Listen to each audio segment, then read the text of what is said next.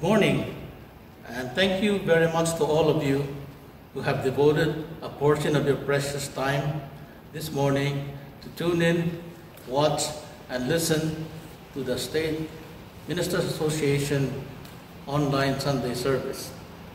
My name is Reverend Kalu. I am an Associate Minister of the Honpa Hongwanji Hawaii Betsuin, and I hope all of you are in good health and safe during this COVID-19 pandemic that we've been having for the past several months now. Your presence here this morning, even though by computer technology, is an inspiration and encouragement to us ministers to continue on our Nembutsu way of doing temple services.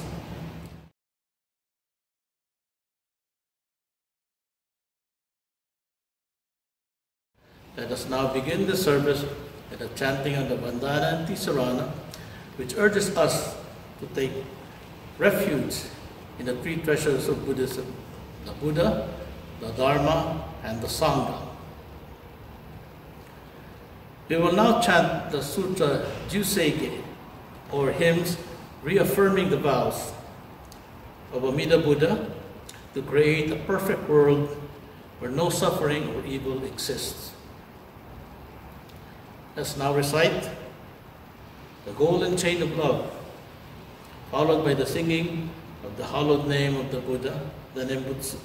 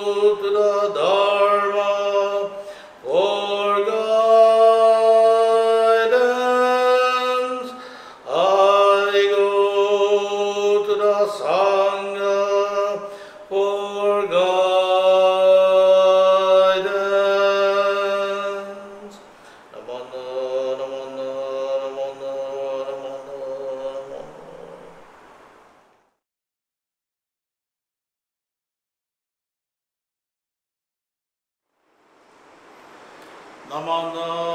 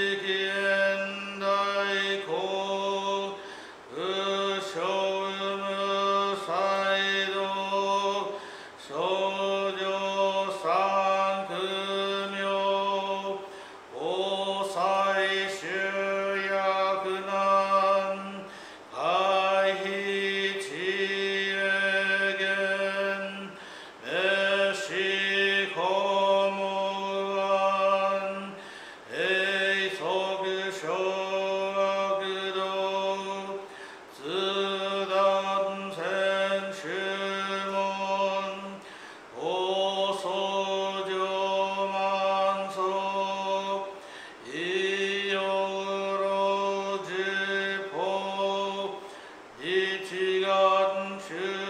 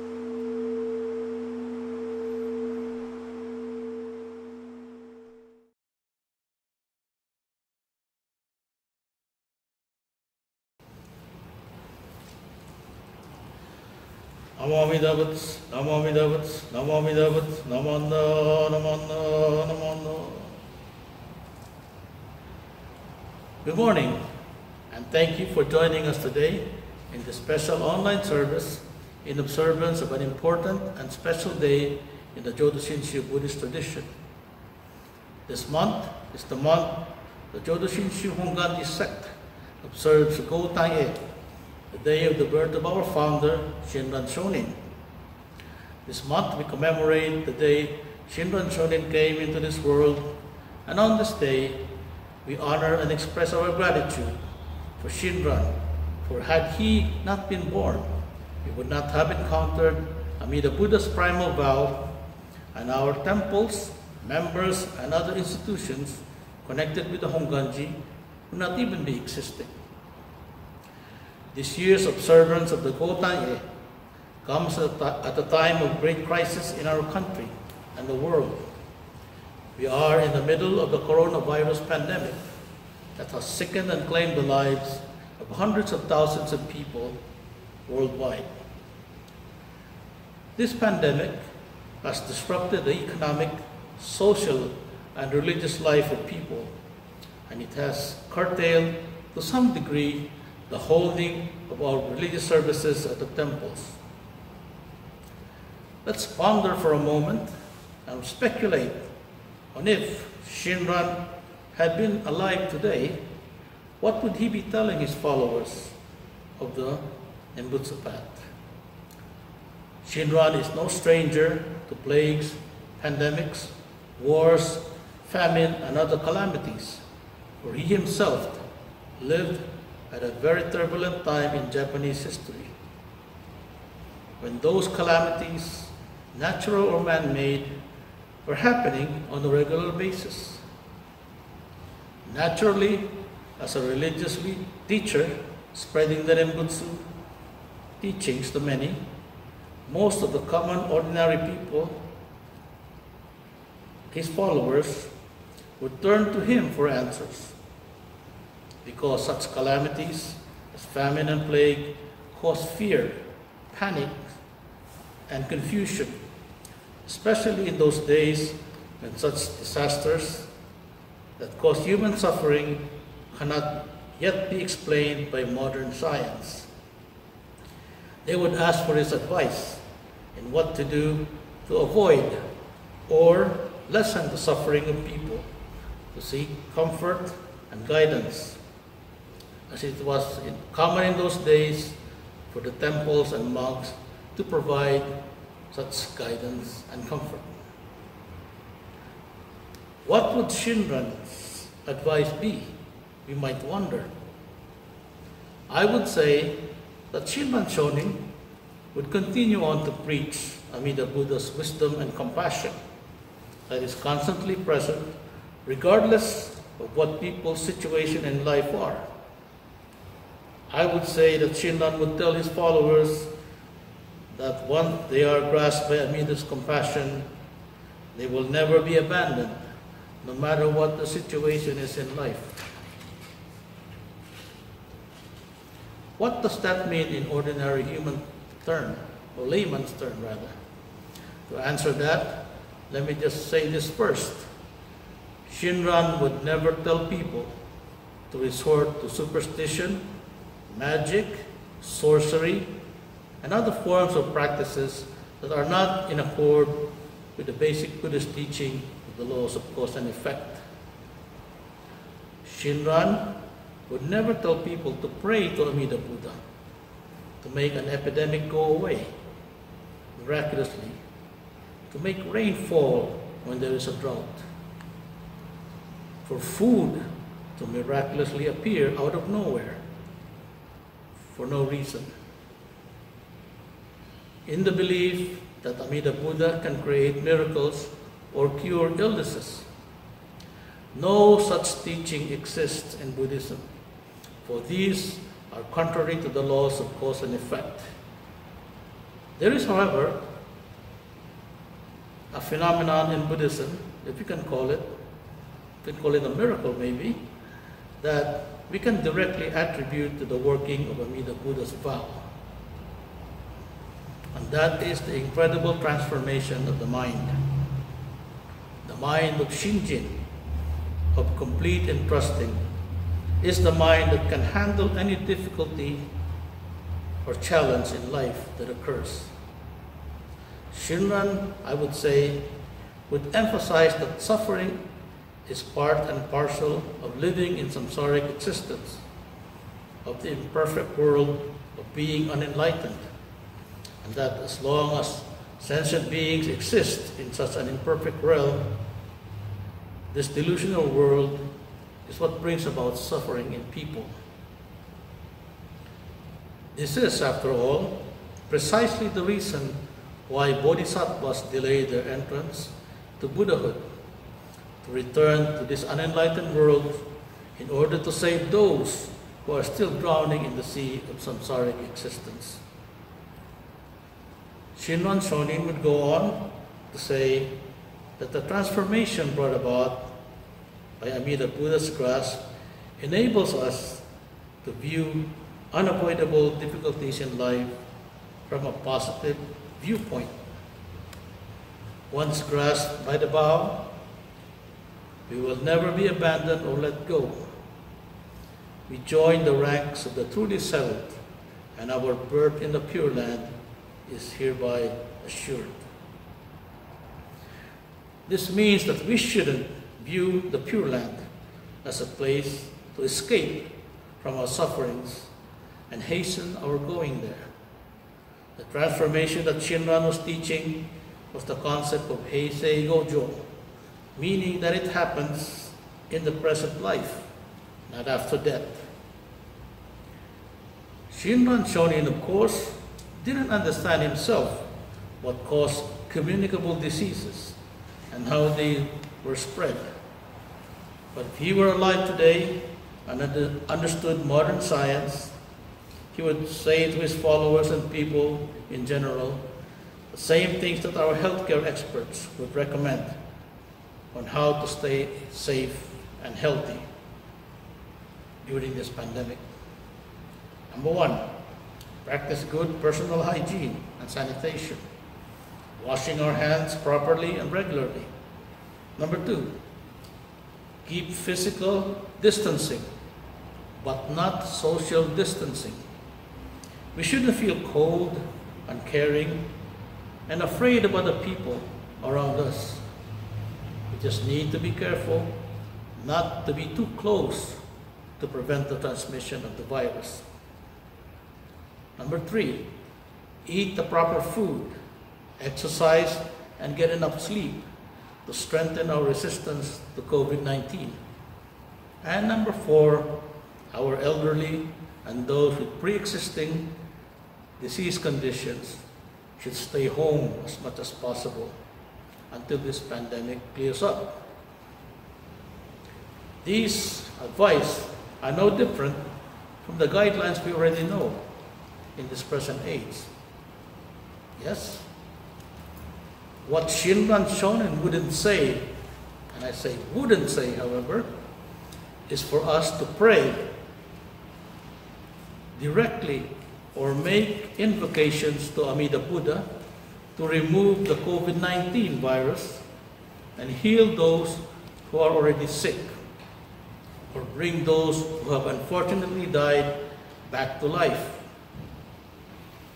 Because these are, of course, not in accord with the Buddhist teachings on impermanence. When we are ill, we go to the doctors and to the hospitals not to the temple to pray for miracle healing. No amount of candles lit or incense burned will make the coronavirus disappear. Only time and the science of modern medicine will give us the immunity to resist or fight the infection of COVID-19. When we go to the temple and hear the teachings, we gain spiritual solace and comfort by being guided by the teachings and reflecting on our own self, resulting in an appreciation and understanding that will result in a somewhat soothing and calming of our distressed minds. So that with a composed mind, we are able to proceed on with life calmly and with confidence. We can say the Nembutsu if it will bring us comfort and emotional relief. Remember the three treasures of Buddhism, which we all recite with each service we do at the temple. The Buddha, the Dharma, and the Sangha. We go to all three for guidance not deliverance from physical suffering. Let not the notion that there are no physical miracles in Buddhism create in our minds doubts in Amida Buddha's primal vow. Remember, the true miracles in Buddhism happen through the mind and not the physical body nor the material world. The Buddha is not like any, not like the deities of other religions who promise physical miracles. And Buddhism doesn't promise any, but it does offer a phenomenal spiritual transformation.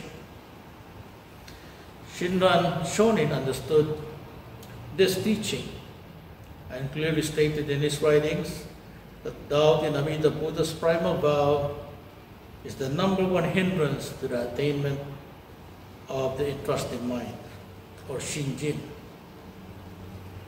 No matter how difficult life may appear at the moment for us, nothing is ever, in, nothing is ever permanent except the compassion and wisdom of the of Amida Buddha, which transcend all time and realms. However we choose to believe in the Pure Land as that of existing in, this, in the here and now, or in a pure land after we leave the physical world, the fact remains that it is the core teaching of the Jodo Shinshu Pure Land sect of Buddhism. Let us not harbor any doubts of its existence wherever it truly is. We are fortunate that our beloved founder Shinran Shonin came to this world and brought the precious Nembutsu teachings within the reach of ordinary common people. This month, we honor and express our gratitude as we observe the birth of Shinran, who endured many hardships, persecution, and other difficulties in his life, but worked steadfastly to spread the Nembutsu teachings to any and all levels of people who are willing and ready to receive them. More than 800 years since Shinran Shonin's birth and his life as a spiritual leader, his legacy continues on through the Nembutsu teachings we listen to and apply in our daily lives in this modern age. To Shinran, we express a very profound thank you. And of course, happy birthday, Master Shinran. Namo Amida Butsu. Namo Amida Butsu. Namo Amida Butsu.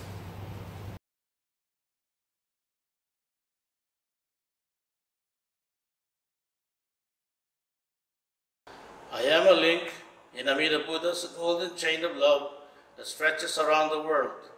I must keep my link bright and strong. I will try to be kind and gentle to every living thing and protect all who are weaker than myself. I will try to think pure and beautiful thoughts, to say pure and beautiful words, and to do pure and beautiful deeds, knowing that on what I do now depends not only my happiness or unhappiness, but also that of others. May every link in Amida Buddha's golden chain of love be bright and strong, and may we all attain perfect peace. Namo Amida Butsu. Namo Amida Butsu. Namo Amida Butsu.